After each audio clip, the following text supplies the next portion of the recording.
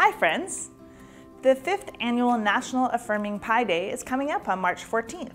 PIE Day is an invitation for us to reflect on the things that we can do in our communities to affirm people who have been traditionally marginalized by religion, with a focus on Two-Spirit and LGBTQ plus communities. It's also an invitation to celebrate together and an excuse to eat pie. Apple pie, pizza pie, shepherd's pie, all pies are welcome.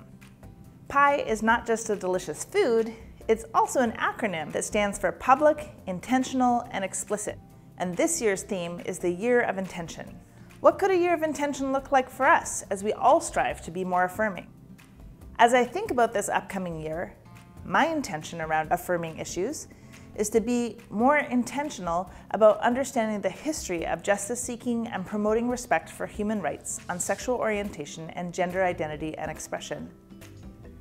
I grew up in a household where there was acceptance and affirmation of the 2S LGBTQ communities, but that means that a lot of my understanding, including my acceptance of my own sexual orientation, was implicit.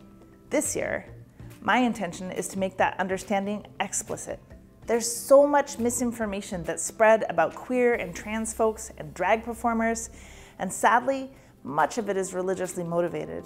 I know that it's not enough to disagree with unhealthy theology, I also want to proclaim the gospel that I believe in and provide another narrative around faith that doesn't involve discrimination.